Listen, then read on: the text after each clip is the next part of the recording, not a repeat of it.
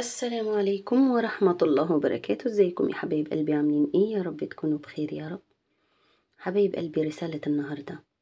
أنت بتسأل نفسك كتير أنا إزاي أتواصل مع روحانياتي؟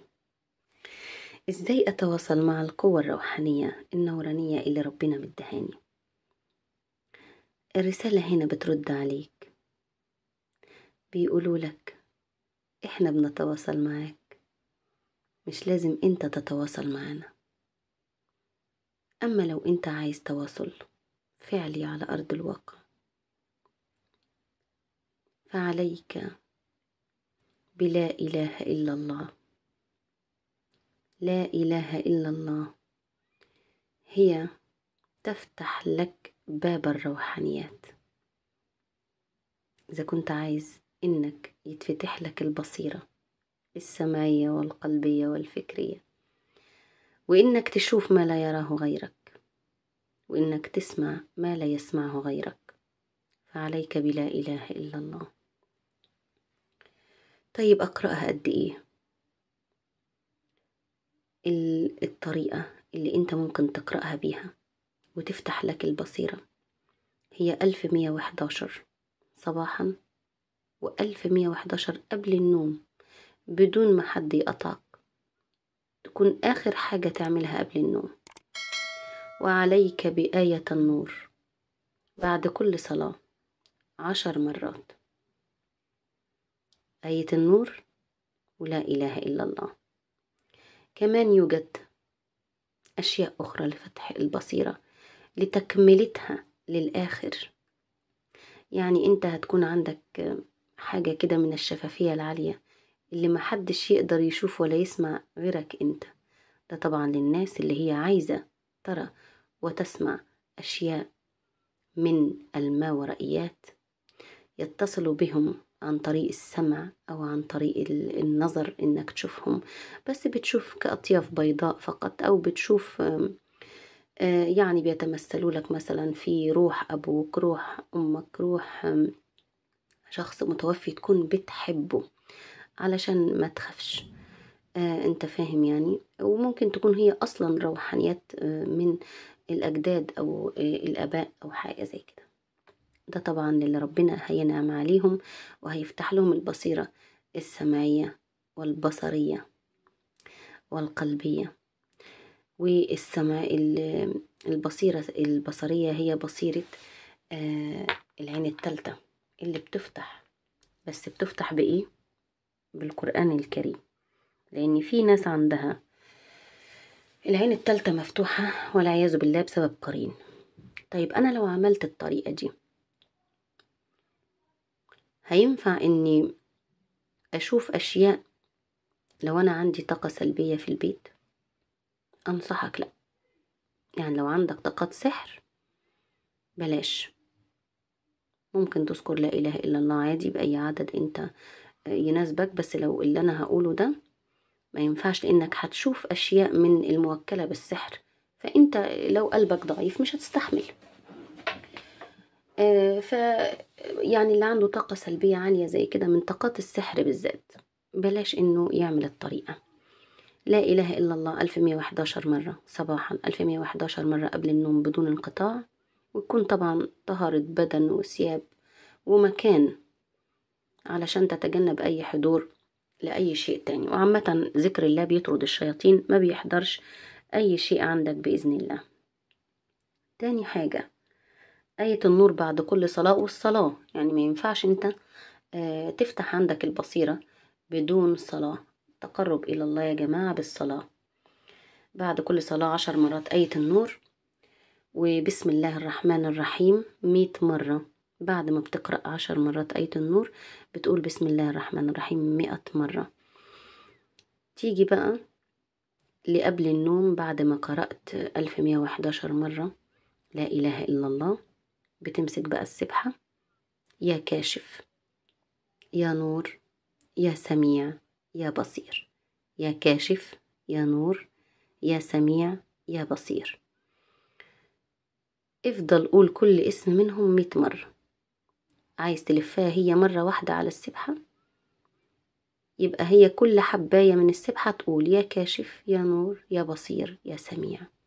وبعد ما ما تخلصهم مية مرة بتقول قبل ما تنام وكشفنا عنك غطاءك فبصرك اليوم حديد. وكشفنا عنك غطاءك فبصرك اليوم حديد.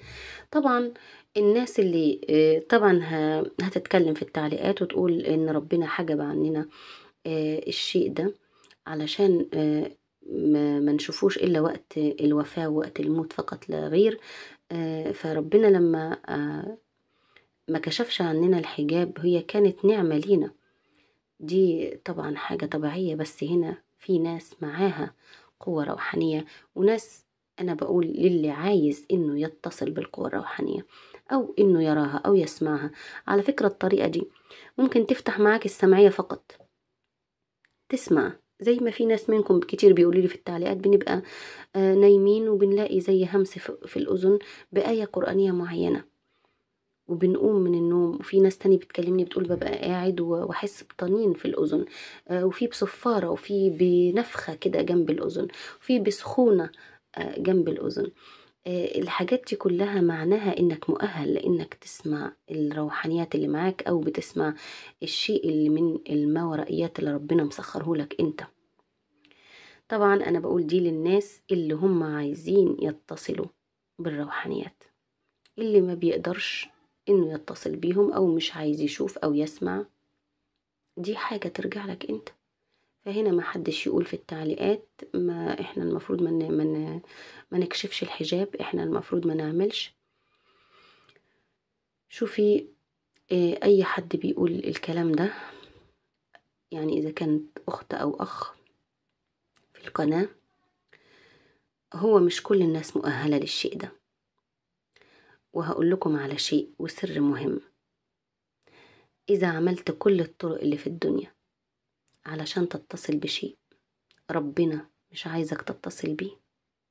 مش هيخليك تتصل بيه. إذا عملت أي شيء علشان تحصل عليه فقط لا غير فبرضه مش هيتفتح ليك. أولا الشيء ده ساعات بيتفتح للناس لوحدها. يعني الإنسان اللي بيبقى لوحده كده بيقرأ لا إله إلا الله بدون أعداد الإنسان اللي بيعمل أي شيء عشان يقرب من ربنا ويكتر في الذكر ويكتر في التسابيح بيلاقيه اتفتح لوحده والله. يعني أول ما دخلت في الروحانيات دي آه في الأول كنت بقرأ بأعداد كبيرة كبيرة جدا وكنت بقرب لربنا أكتر وأكتر وأكتر. دلوقتي بنوع بين دلوقتي بنوع بين الأوراد علشان أغير في الطاقة شوية. فكنت كل ما بذكر باستمرار بسم الله الرحمن الرحيم بعد كل صلاة بكميات كبيرة وأجي أنام أقرأ قل هو الله أحد كتير أقرأ آه لا إله إلا الله كتير وأبص ألاقي آه أقوم من النوم على صوت في أذني. أقوم من النوم على آية قرآنية فيها رسالة ليا. وأقوم بقى إيه تحس إن أنت بت بت بتنزل عرق من كل مكان وكأنك كنت في في غرفة فيها فرن فيها حاجة سخنة. ده بيبقى دليل على اتصالك الروحي. إذا حسيت بالسخونة فجأة أو بالبرودة فجأة بيبقى معاك قوة روحانية في الوقت ده. يعني ساعات في عز الشتاء بنحس بحاجة سخنة جنبينا وكأن في نفس جنبك أو في سخونة جنبك أو صهد جاي من جنب ودنك كده على طول. بيبقى في قوة روحانية. عايزة تقولك حاجة عايزة تتصل بيك خش اعمل خلوة بسرعة مع ربنا كده و... واقرأ قرآن وسبح وقول عليه الصلاة والسلام في حاجة هتوصلك في شيء هيوصلك ضروري. فهنا زي ما بقول لكم الشيء اللي ربنا بيعوزه يفتحه بيفتحه لوحده. بس هنا في ناس سألت وأنا قلت أجاوبها. وأقول لكم على الشيء اللي أنتوا تعملوه. الناس اللي عندها قلب وبتعمل الأشياء دي وربنا هيفتحها لها من عنده لأن إن شاء الله كان وإن لم يشأ لم يكن. فأنت اعملها بنية صافية بنية الذكر لله وإن شاء الله لو ربنا عايز يوصل لك رسالة هيوصلها لك. بإذن الله. لو عايز يفتح لك البصيرة هيفتحها لك بكل أنواعها بإذن الله.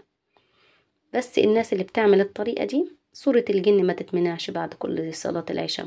يعني بعد صلاة العشاء.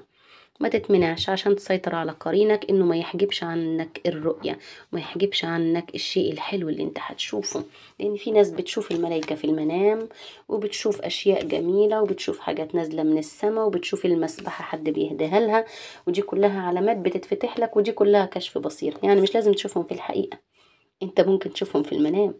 وده برضو كشف بصيرة وأصدق الرؤى اللي بتيجي لما بتشوف ملائكة في المنام أو بتشوف المسبحة حد بيديها لك أو بتشوف شخص من نور آه بيرسل لك رسالة أو بيديك شيء أو بتشوف شيخ بيرقيك دي حماية. من عند ربنا وجند من جنوده الخفية. بتشيل عنك طاقة سحر طاقة حسد طاقة عين. هي آه، اللي بيشوف الحاجات دي في المنام متصل بطاقة روحانية متصل بطاقة علوية. اعرفوا إن أنتم متصلين بيهم حتى عن طريق الأحلام فأنت مش لازم تشوفهم في الحقيقة للي ربنا رايد له بس. إنها تنكشف له أن أو تتفتح له إن شاء الله هتتفتح له. فطبعا هنا ما تحاولش أو مثلا أنت ما ما تعملهاش كأنك عايز تتصل بالأرواح أو بال أو بتتصل بال- بالطاقات الكونية المختلفة. هو عموما آه، جنود الله بتتصل بيك لوحدها مجرد ما أنت تقرأ القرآن. فأنت آه، حاول إنك تقرأ لله تعالى فقط لا غير. وإن شاء الله أي رسالة عايزة توصلك هتوصلك بفضل ربنا. أنا خلصت رسالة حبايب قلبي يا رب أكون فدتكم. والسلام عليكم ورحمة الله وبركاته.